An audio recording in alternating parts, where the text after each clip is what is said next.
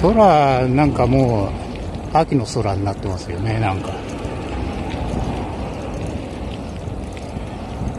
まあ台風の影響もあるんですけどね東の方から、えーちょっと涼しい風に来てるもんですからね多分こういう雲出てると思いますけど。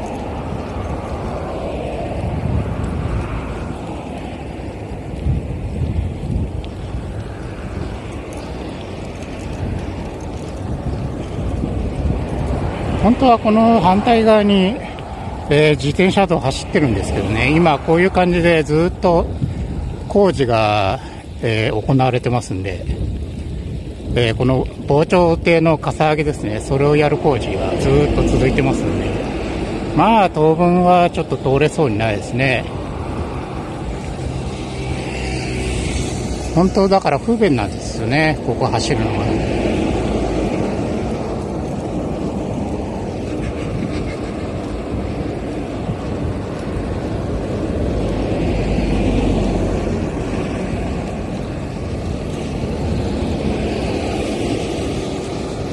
えー一応まあ、今日平日なんで、こういうふうに大型の交通量がここ多いもんですからね。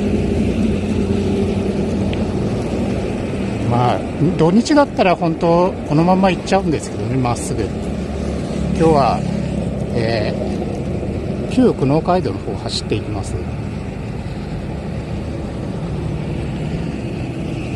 で、久能東照宮越えて、しばらく行くとまたこの道に戻ってくるんで、まあそこからはすごく走りやすいですよね。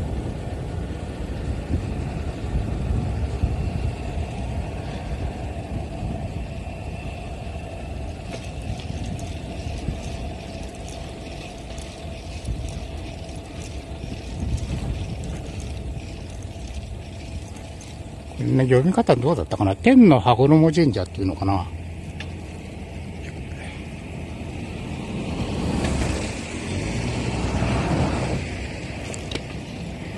あ、美穂の松原の羽衣伝説って有名ですけどね。この、今の天の羽衣伝説の神社ですね。あそこの方が実は古いんですよね。話は全く同じなんですけど。まあこの辺のハウスはもう全部、えー、いちごのハウスですよね。もう終わっちゃってるんですけどね。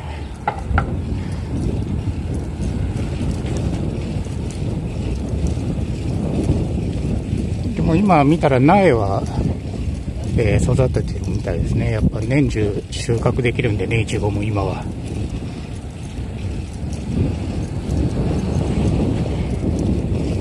あの、いちごのシーズンって、1月から5月なんて言われますけどね。だから、1と5で、いちご。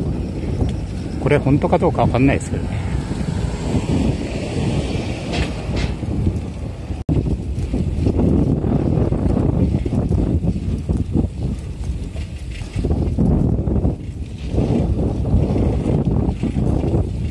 ここのハウスは分け木かな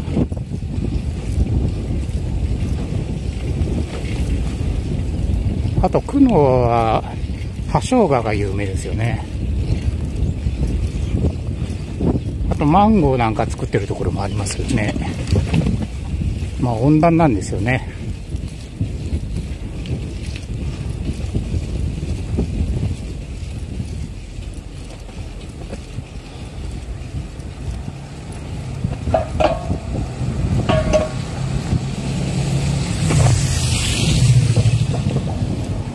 この坂はもう越えちゃえば、えーすぐ久能東照宮の参道になりますから、えーこれが最後の難所ですね。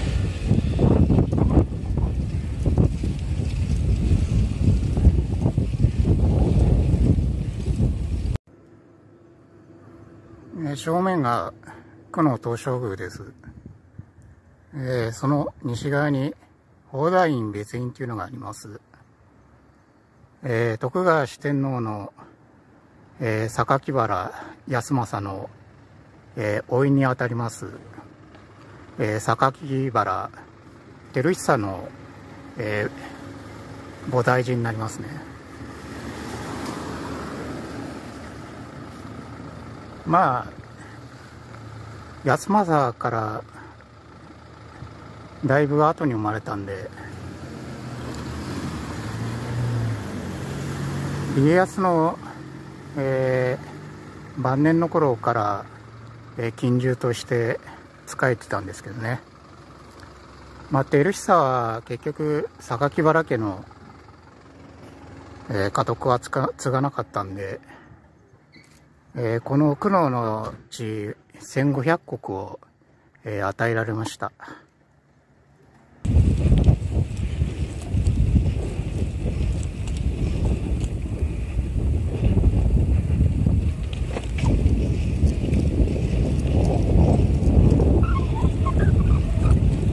今、苦悩東照宮だったんですけど、通り過ぎちゃいましたけど、まあいいや。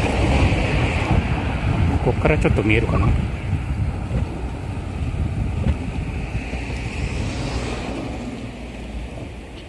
今上の山門がちょっと、えー、ずっとですね工事続いてるもんで。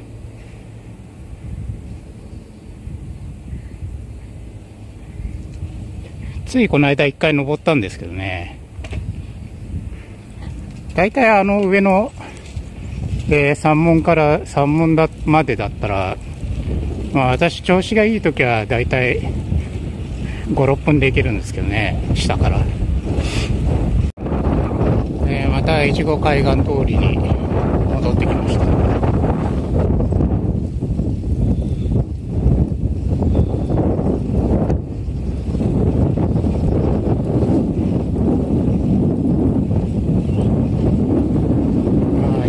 はちょっとどうなんだろうな。これ風なかったらかなり暑いんですけどね、今日は東風が吹いてるんで、えー、結構涼しいよね。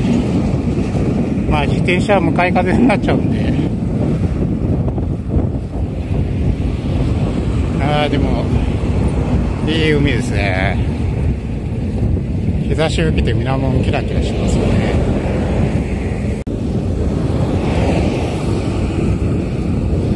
あの日曜日の朝、えー、TBS 系列のラジオですね、えー、8時から 1J っていう番組やってるんですけどね、元刈谷ゆいかちゃんが MC やってる。あの子、どういうわけか、ずっとあの番組、不遇な状態ですよね。最初の、えー、相方の MC だった、あの、えー、不倫男ですよねなんだっけ名前も忘れちゃったぐらいだね。えー、名前思い出せないな。あの映画コメンテーターですよね。名前が出てこないんですよね。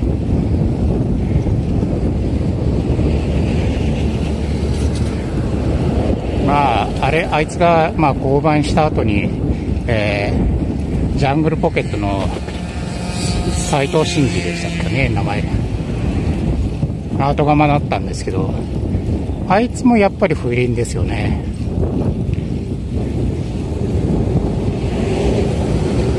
まあ子供生まれてまだもう何人いるのかわかんないけど、結構大所帯になりましたけどね。なんですかね、まあ、性欲ってのはもう抑えられないですかね。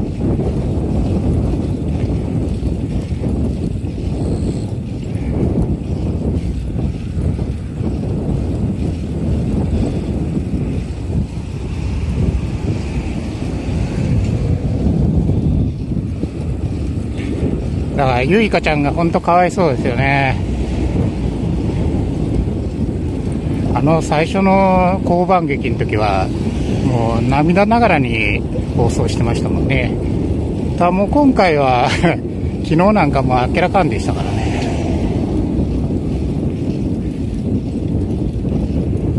まあ、あっちこっちの、えー、系列局のアナウンサーが順繰りできて、えー、相方務めてるんですけどね。今のスタイルの方がなんかいいですよね、でも。ギャラも安く済むし。なかなかね女の子2人でやるっていうのはねちょっと聞きづらいんですよね。私ら聞いてると。ラジオ。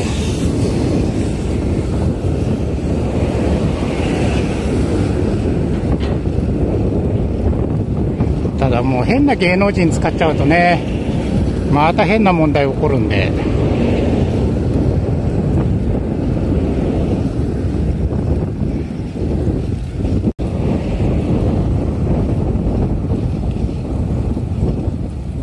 最近のお気に入りのラジオは、えー、土曜日の6時半からやってるやつですね。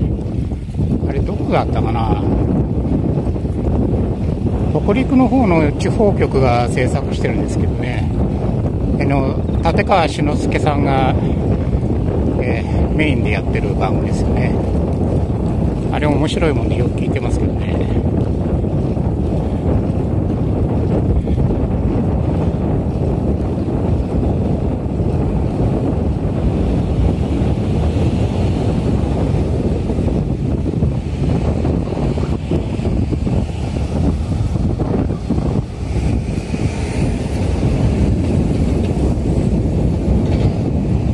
こを左折すると、えー、清水の私立病院通りになりますね。ずっと、えー、宇東坂の方へ続いてます。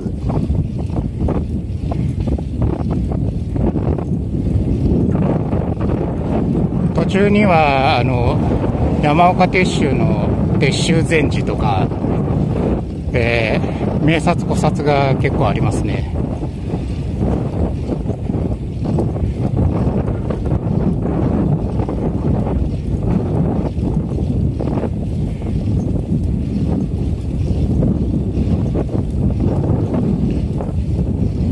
だんだん富士山も近くなってきましたね。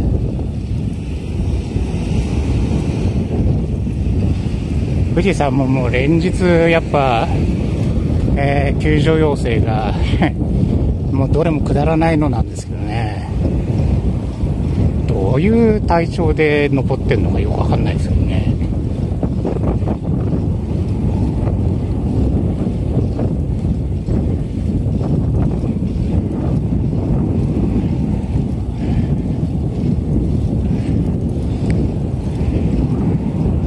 ね。私ら登山慣れしてても富士山登りたいとは思わないですもんね。5合目からでも、えー、山頂までだとどうなのかな。千何百メーターも登んなきゃいけないですよね。それももう石ゴロゴロのガレ場とかザレ場とかそんなんですもんね。足場も良くないし。で、景色も変わんないから メンタル的にもう、私なんか全然我慢できないですよね。もう森林限界の上を登ろうなんていう気にはならないですよね。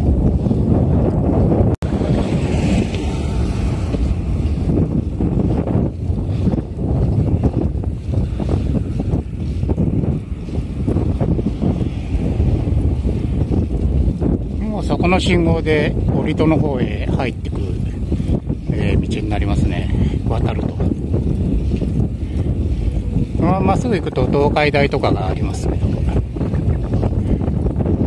えー、今日実、実はあれですね、えー、清水区にある清水の次郎町が、えー、生活していた、えー、末広っていうえー、建物があるんですけどね。そこへ実は行こうと思ってたんですよね。さっき思い出したんですけど。今日はまあそっちの方へ行こうかなと思います。でそこに、えー、ある名優のサインがありますんでそれ取ってきたいと思います。